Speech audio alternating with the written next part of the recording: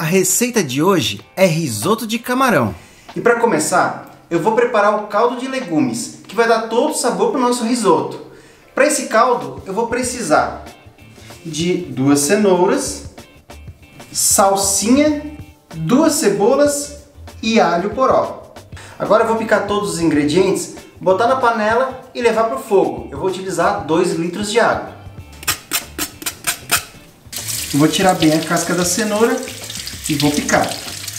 Já limpei a cenoura, agora vou cortar em rodelinhas.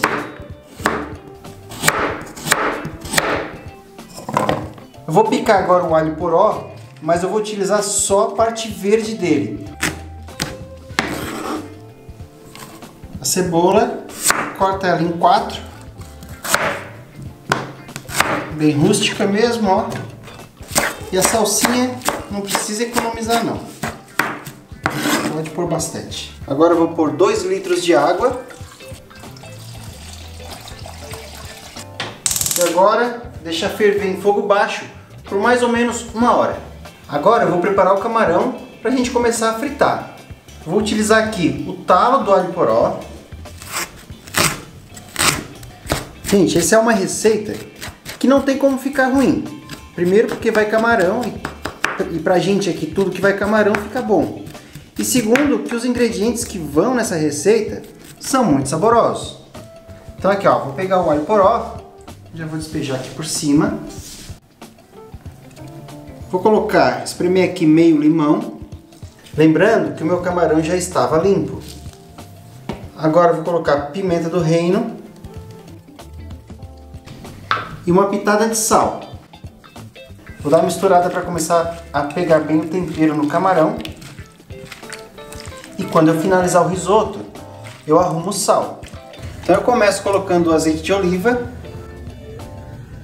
Faço aqui uma camadinha. E vou deixar esquentar bem. Com óleo bem quente, eu coloco o camarão.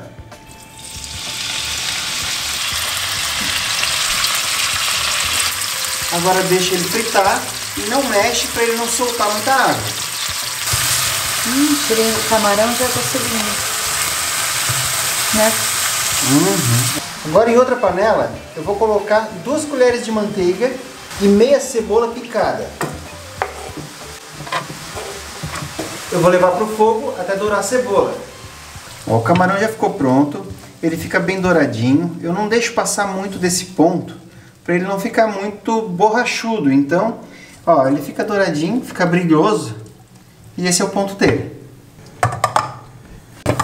Vou deixar essa cebola bem douradinha agora. E aí a gente já vai começar a preparar o arroz. Ó pessoal, a cebola tá amarelinha. Dá uma olhadinha aqui. Ó. Agora eu vou adicionar o arroz. E o arroz que a gente usa para fazer o risoto é o arroz arbóreo. Ó. Esse é o ideal. Você pode usar outro arroz? Pode. Mas o arroz do risoto é esse aqui, o tradicional é o arbóreo. Então aqui eu vou utilizar duas xícaras. Agora eu vou baixar um pouquinho o fogo e vou dar uma misturada.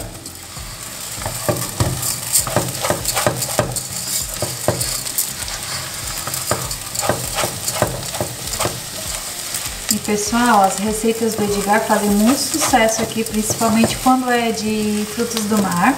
Então deixa bastante like para ele trazer mais receitas aqui pra gente. É isso aí. Aqui no canal tem bastante receita boa, muito gostosa mesmo.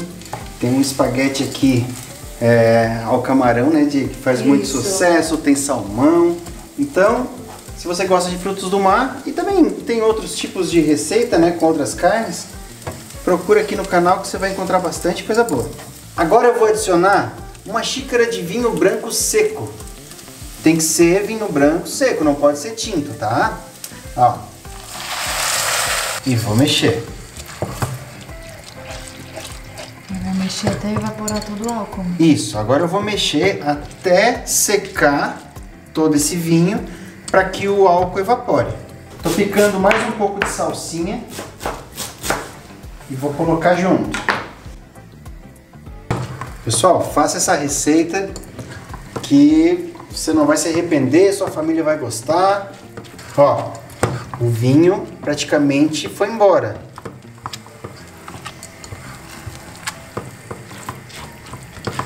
Mas na verdade vai deixar todo o gostinho para o nosso risoto. O caldo já ferveu por uma hora, agora eu vou escorrer. Agora com esse caldo eu vou regar o arroz.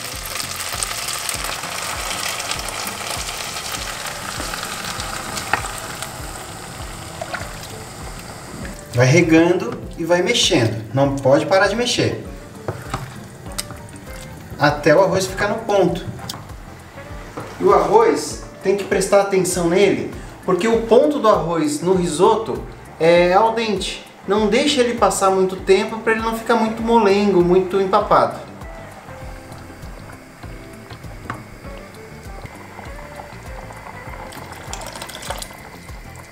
Pessoal, falta muito pouca coisa para o arroz ficar no ponto. Falta aqui mais um, dois minutinhos. Então, vou começar a entrar com os últimos ingredientes. Aqui eu tenho meia xícara de molho de tomate. Misturar aqui bem. Baixar bem o fogo, ele começa a grudar.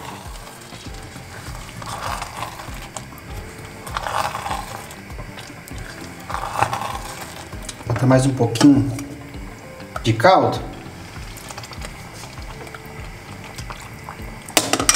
Rapidinho ele seca.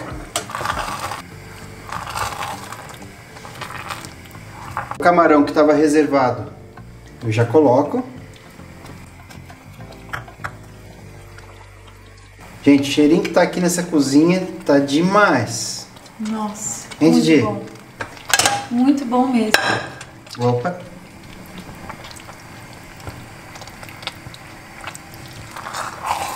Poderia ter usado uma panelinha maior, mas como eu não tinha, utilizei essa. Vai dar tudo certo. Agora eu vou adicionar dois pacotes de queijo ralado.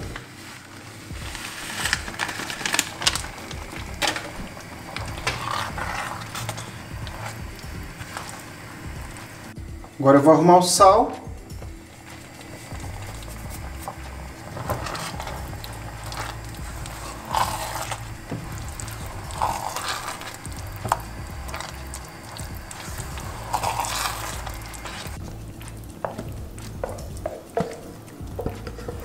Finalizar, vou pôr uma salsinha aqui por cima. Gente, vou servir agora para ver como é que vai ficar no prato essa gostosura. Vou pegar mais um pouco aqui. Ser bem generoso.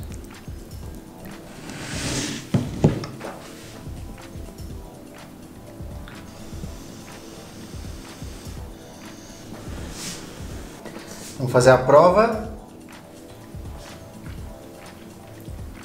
Hum, demais. Fica muito saboroso. Na verdade é uma mistura de sabores. E façam em casa porque vocês vão gostar dessa receita, tenho certeza disso. E se gostaram da receita, deixem um like, se inscrevam no canal e a gente se vê no próximo vídeo. Tchau!